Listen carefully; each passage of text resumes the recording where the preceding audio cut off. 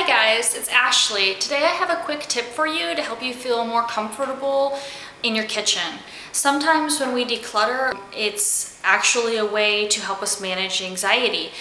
I know that I don't like cleaning around small things or putting my hands in small uncomfortable areas. Um, I just feel I, I, want things to be easy. I want to be able to stick my hand and clean around nice, big, open, wide spaces instead of in small nooks and crannies. So one thing that I did is I got rid of my knife block in my kitchen.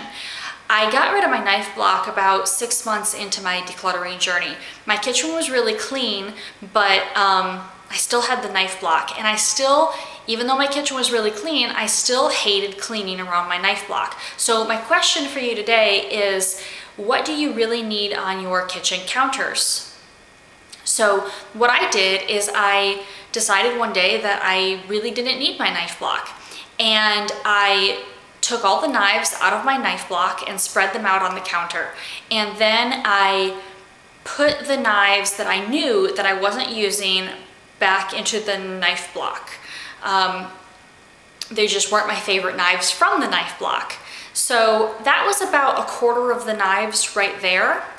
And I went on to sell the partial uh, knife kit um, at our at the flea market, and I do recall that it did sell.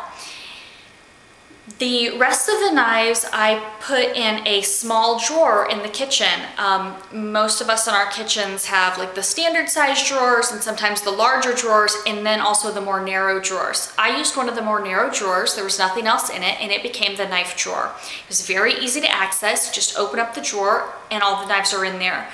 Um, I was really happy with this and I immediately felt that my kitchen just appeared a lot more streamlined and just a lot more visibly presentable.